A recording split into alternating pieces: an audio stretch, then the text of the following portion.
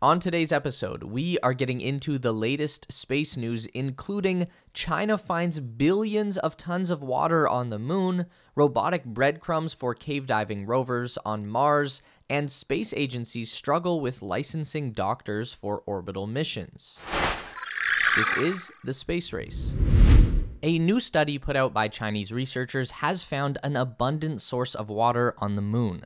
Published on March 28th, the report details the analysis of samples returned on the Chang'e 5 lunar lander mission. The Chinese National Space Administration successfully carried out the operation in late 2020.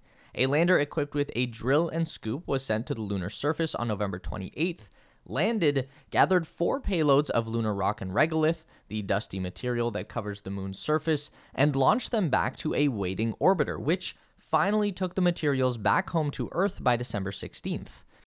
The material recovered from the moon was filled with glass beads called microtektites. They are formed when meteors smash into the surface of an airless environment, which happens all the time on the moon. The heat caused by the impact melts the silica contained in the soil, but lunar regolith also contains a fair amount of oxygen. So, this molten silica and a bunch of oxygen filled dirt gets thrown high into the moon's sky. Then it gets hit with ionized hydrogen particles from the near constant solar winds. The silica begins to cool around pockets of this reaction, and bam, we have H2O trapped in little glass beads, literally covering the lunar surface.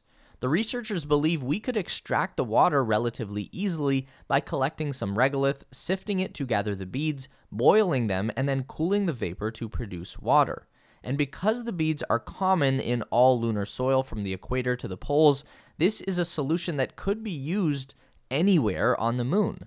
But there's more than that the researchers have found that these beads are likely the cause of water reservoirs beneath the moon's surface that scientists have been waiting to study for decades. The research paper actually begins by citing the fact that lunar exploration has detected substantial quantities of water on the moon's surface for the last two decades. We've seen confirmation that water ice is trapped at the poles, where there's almost constant shade in the deep pockets created by meteor impacts. And experiments like the LCROSS mission in 2009 was able to help NASA verify that there is a layer of water hidden under the top layer of regolith. But according to this new paper, what NASA was detecting was likely a concentrated layer of these beads. The researchers believe that over time, the microtektites created by meteor impacts get buried under the top layers of lunar dust and slowly work their way under the surface.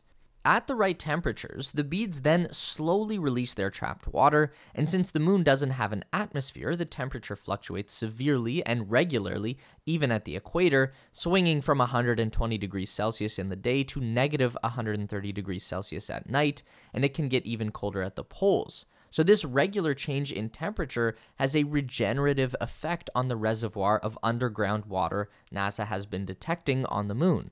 And this leads to a couple of conclusions. First, this is unfathomably cool. Finding out that the moon has a refreshable water source created by the energy from meteor impacts is just a wild reality to find ourselves in.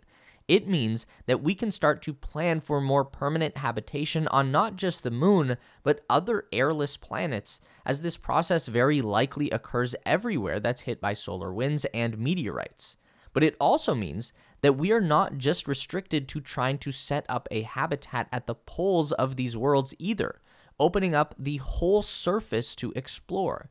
Secondly, this means that we have a steady way of producing not just water, but oxygen for breathing and hydrogen for fuel.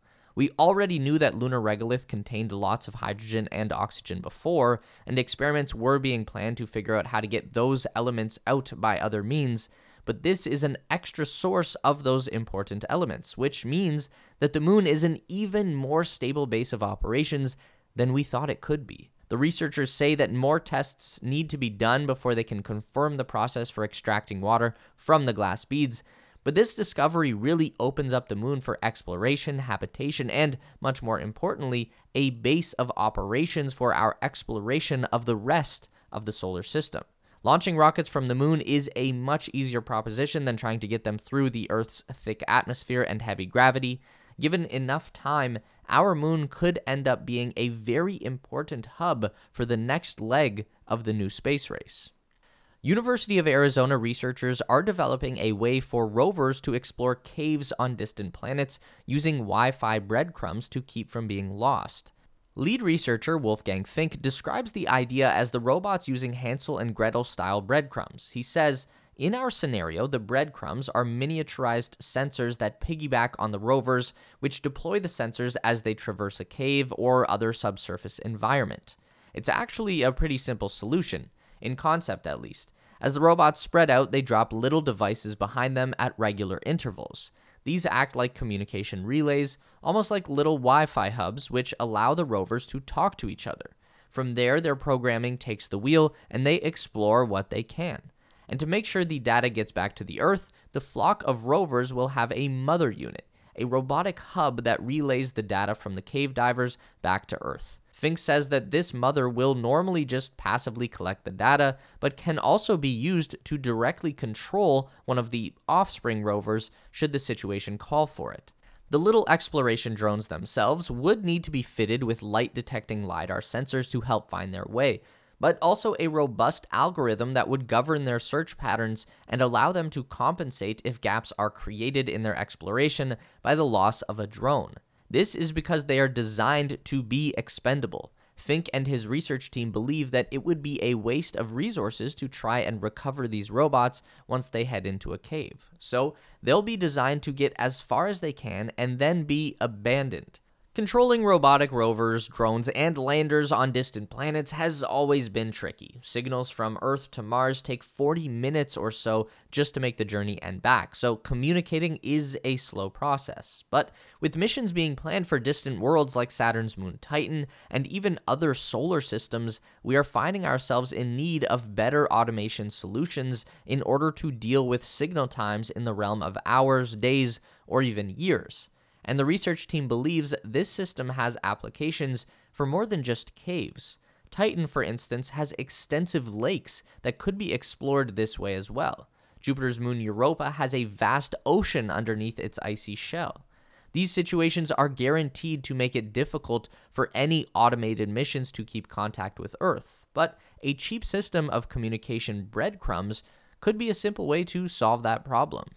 This new space race is being led by an explosion of new commercial agencies, and industry experts are beginning to talk about how we need to change our current systems to support this growth. One of the biggest questions being asked right now is how are we going to certify new doctors for space work? Right now, most agencies use a system of older legal frameworks, which usually results in only current or former military personnel being cleared for this job.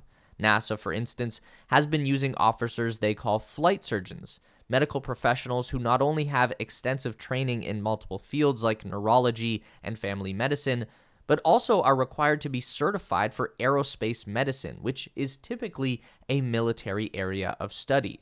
All of these extra requirements mean that a NASA flight surgeon typically has about 12 to 14 years of training which might sound a little too stringent, but if you think of what the job needs from these doctors, it makes sense. Spaceborne medical professionals have to learn many branches of medicine and stay up to date on a host of new technologies and treatment protocols because if anything goes wrong in orbit, they are the only people who can help. It's not a whole lot of use to have a specialist on board if they can only treat one type of illness or injury. Currently, companies like SpaceX hire NASA certified flight surgeons when they have need of extended crew missions, like they did during Demo 2 when they brought Dr. Anil Menon along. But it's likely not surprising to hear that there's a bit of shortage of trained and certified flight surgeons available. And with this rapid expansion of space operations looming in our future, something needs to be done about this very quickly. To their credit, several organizations have been trying to find ways of speeding up this process. In February, for instance, a study from Western University in Canada looked into developing one international certification framework to license physicians for orbital medicine. The study focused on how restrictive Canadian law was specifically, with doctors being required to hold a license for each province they need to practice in, but the study notes that this is a similar issue with certifying flight surgeons the world over. They identify the problem as being mostly with the legal frameworks we have in place from the spaceflight industry's roots of being run by the military or government. There are plenty of doctors with the required experience, but not so many that meet the strict requirements of board certification. There's not a clear path for creating a universal licensing system yet, but the study concludes by saying that it's not a question of if this will happen, only when. Commercial missions are going to keep growing in number, and if we are going to keep space travelers safe, we are going to need to certify doctors to travel with them. Meet us back here every week for more updates on everything aerospace industry and interstellar exploration related. Make sure to give the video a thumbs up today if you liked it. That really helps us out for real. And subscribe to the Space Race for more videos just like this. We do one long form essay and one news update every week. And if you'd like more, we've got two more on the screen for you right now.